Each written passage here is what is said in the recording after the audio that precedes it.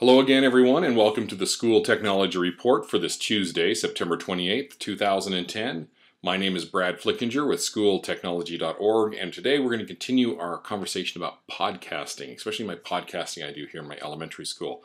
So, as you know from following my blog, I do a lot of podcasting with my students. We do it daily, and in fact, we're, we're breaking into the idea of in fourth grade, all the students, every student will produce their own podcast about an academic subject. So, we're going to go from just morning news into the academics. And so here's my Bethke Elementary website here, uh, bethkeelementary.com. I'm just on our podcasting page. I'm just going to click on play here from last Friday's show. Timnath, Colorado. This is episode 158, and today is Friday, September. Good here. morning, Bobcats. This is Maddie and Sarah with the K-Bob Daily Podcast from Bethke Elementary in Timnath, Colorado. This is episode 158, and today is Friday, September 24th, 2010. All right, pause.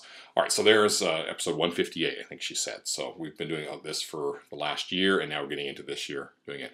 Now, the emails I get are like, uh, Brad, how do you do podcasting? It's great that you do it, but how do you do it, and how can I do it in my school? Well, I'm going to show you what I where I got all my background from, and that is yeah, my Atomic Learning account.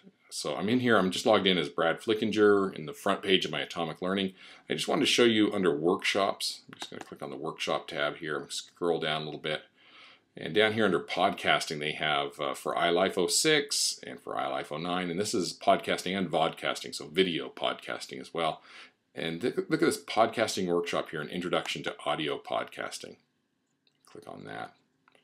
And look at how many things. So if you have no idea, and this is what I send my students to. We have uh, accounts across our whole school. So I just send them into here and they have to go through and watch these little uh, tutorials and videos on introduction. Like here, do I need an iPod? Let's get down into, uh, look at everything with Audacity. Here's all the Audacity things. So if we want to, let's see, let's pick one here using the selection tool. Here's a minute and 38 uh, video here, one minute, 38 seconds. Now let's look at the selector tool. The selector tool is the eye-shaped tool located in the tool's toolbar. The selector tool is used to select a starting point for audio playback or to identify a certain portion of the timeline that we want to cut or edit or All right, so there's how to select. Let's go back into maybe we so maybe you're using GarageBand for your podcast, your Mac district, and you want to use GarageBand. Well, adding a vocal recording. Let's go click on this right here. Now we'll add a vocal track to the new theme song. We'll do that by going up to the track menu and choosing New Basic Track. You'll see the track appear in the timeline. All right, so there you go. So everything, and then how to create the RSS feed and how to use the feed burner.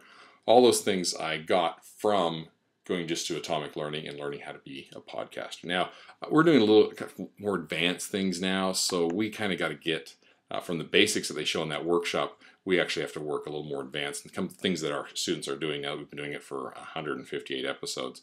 So really, we'll go into the tutorial side here. We'll open up uh, like Audacity because that's what we use in our in our school, and let me just show you how thorough that is. All right, we have it on the PC platform, so I'm going to click on that. Look at 50 tutorials on Audacity are inside here. It's just absolutely amazing. And so, of course, Audacity, this is covering everything from doing music and all those things. But my kids, they just want to do a little bit more, and especially under these editing. So they'll be in here and they want to use like the envelope tool or uh, viewing the edit history that you've got and panning in the stereo track, those type of things. And so they'll get a little bit deeper into those uh, different tutorials there. So there's my big secret on how I learned how to be a podcaster in my elementary school. Thanks for tuning in and I will see you tomorrow. And remember, I love people to follow me on Twitter. Uh, I don't know, some weird ego thing that I have there. And also I like it when you guys uh, um, subscribe to my podcast because then you'll get it every day in your email. Um, you'll get my blog in your email. So it works out great that way. Thanks, and I'll see you tomorrow.